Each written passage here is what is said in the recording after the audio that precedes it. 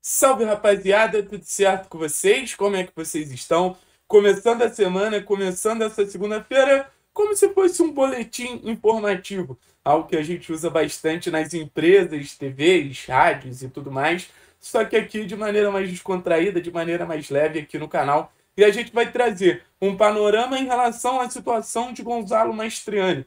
Qual é o cenário hoje de Gonzalo Mastriani dentro do Atlético? Está infeliz porque não vem sendo escalado pelo técnico Cuca, que vem claramente preferindo Pablo, mesmo na coletiva falando que a minutagem era a mesma. A gente sabe que o Maestrani vem entrando nos segundos tempos das partidas, que o Maestrani vem entrando no decorrer dos jogos e, e, vem recebendo poucas oportunidades ali de fazer o que ele faz de melhor, que acaba sendo gols. E a gente também vai falar sobre o interesse de um ex-dirigente do Atlético no técnico Cuca. Então chega mais, deixa o like, se inscreve no canal, porque a intenção é cada vez mais aproximar vocês dos bastidores do Clube Atlético Paranaense, aproximar vocês de tudo que a gente eh, vive no dia a dia do Atlético. Sempre com informação, responsabilidade e aquela velha máxima. Quem quiser acreditar, acredita. Quem não quiser acreditar, também tem todo o direito. Eu vou começar falando sobre o interesse do Cruzeiro no técnico Cuca. Seguinte, vamos tentar entender o cenário como um todo. Cruzeiro acaba de ser vendido. Ronaldo vende ah, as ações do Cruzeiro, não sei como se fala, a parte que ele detinha do Cruzeiro para o Pedrinho BH. Quem é o Pedrinho BH? Dono das redes de supermercado BH. E o Pedrinho, que já ajudou o Cruzeiro em vários momentos, já fez alguns aportes financeiros, chega no Cruzeiro com a intenção de montar um time forte, pelo que se fala nos bastidores, trazer reforços para junto a Dineno, junto a Matheus Pereira, junto a outros bons nomes que já estão hoje no Cruzeiro, fazer uma equipe que volte a brigar por títulos. Hoje, se eu não me engano, o treinador atual do Cruzeiro é o Fernando Seabra, que inclusive já passou pelo Atlético nas categorias de base, só que existe a intenção de começar um projeto e nesse projeto ter um grande técnico, ter um grande comandante. Alexandre Matos que na primeira semana de trabalho do Pedrinho como dono do Cruzeiro já deixa o América e assume o Cruzeiro.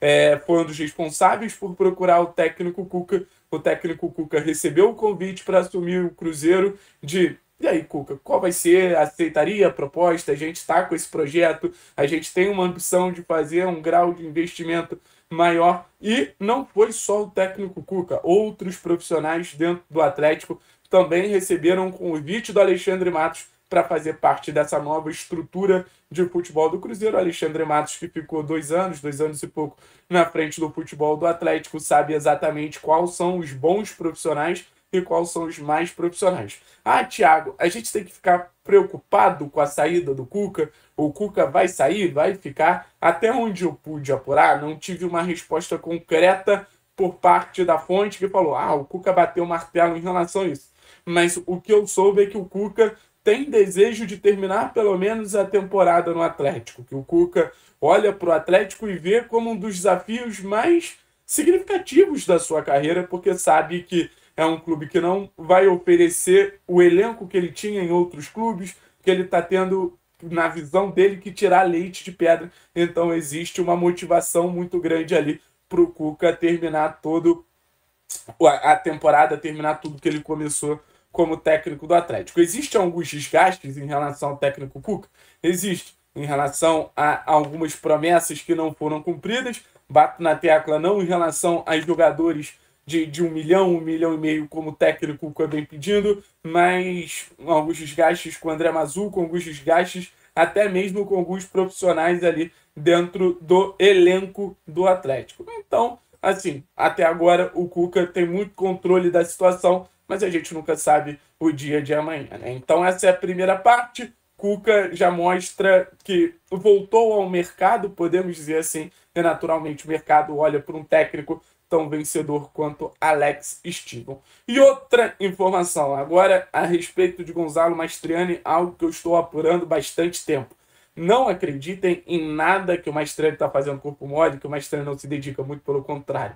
Maestrano é um dos jogadores mais dedicados do elenco do Atlético. Maestrano é um dos jogadores sempre mais solícitos a estarem trabalhando, a fazer uma função tática diferente, a fazer uma atividade diferente no dia a dia. Mastriani quer estar no Atlético, gosta da maioria das pessoas ali no grupo, tem uma relação muito boa com os gringos, só que está incomodado, obviamente, com a falta de oportunidades, ainda mais pelos números que teve ali no começo do, da sua passagem pelo Atlético. Foram números muito consistentes, o que indicaria naturalmente que o Mastriani receberia uma sequência de jogos maior para continuar com a fase que ele vinha vivendo e para continuar com um bom momento, um momento de muitos gols, um momento realmente incrível.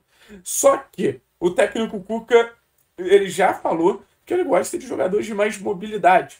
Os últimos centroavantes dele, de trabalhos mais relevantes, foram todos atacantes que se movimentavam mais, que tinham mais dinâmica de jogo, como foi o caso do Jesus no Palmeiras, como foi o caso do Caio Jorge no Santos, como foi o caso do próprio Hulk no Atlético Mineiro. Então também tem muito uma questão de é, característica. Tem uma questão ali do Cuca preferir um jogador que se movimente mais. O setor ofensivo do Cuca vai de muitas trocas de posição. O setor ofensivo do Cuca o ponta esquerda em algum momento está pela direita, o ponta direita em algum momento está por dentro. Então, a todo momento, você precisa dessa dinâmica. E a gente sabe que o Maestrani é um jogador mais de área, que o, jogador, que o Maestrani é um jogador mais fixo, mais preso.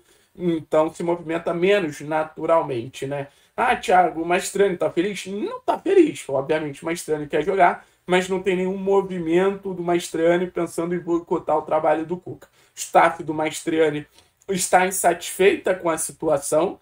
Staff do Maestrani não quer ver o, o, ativo dele naturalmente ser desvalorizado. É, o, o, Atlético já tem noção que o Maestrani vem recebendo algumas consultas, clubes da Série A, clubes de fora do Brasil. Então é uma situação aí que o próprio técnico Cuca já sugeriu outros nomes de atacantes de área, então existe uma, um, um, cenário ali de desconforto e um cenário de dúvida. O Maestrani vai ser utilizado, o Maestrani não vai ser utilizado por parte do Atlético. Se entende que contratou um dos melhores atacantes do Brasil e muita gente dentro do clube não entende porque o Maestrani não vem sendo utilizado pelo técnico Cuca, mas no final das contas existe uma convicção muito grande ali do Cuca que entende que o Maestrani nesse momento é um jogador reserva ali. Beleza, rapaziada? Algumas informações.